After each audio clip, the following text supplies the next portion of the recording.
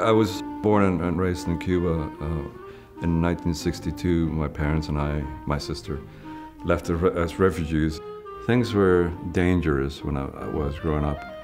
So being inside the house was like a, a big favorite thing of mine. Which is interesting because, you know, years later I'm inside rooms, darkening them, making camera obscuras. The security of a room still really warms me.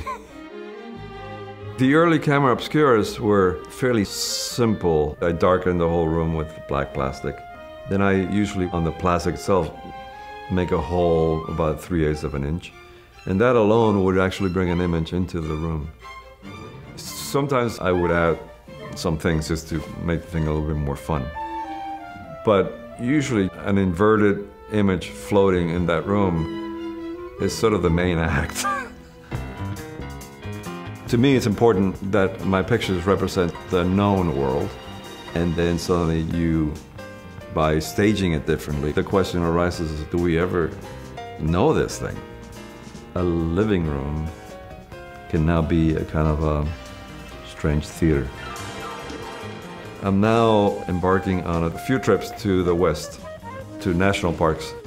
I'm really quite interested in revisiting the milestone work that 19th century American photographers made in that landscape.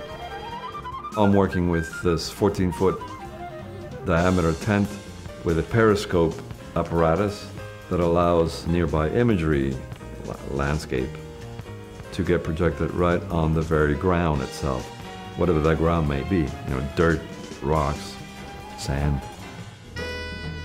I'm making still lifes now uh, at home just when I, I'm not traveling. And some of these still lifes are sort of, I think, derived a little bit from my love for Magritte.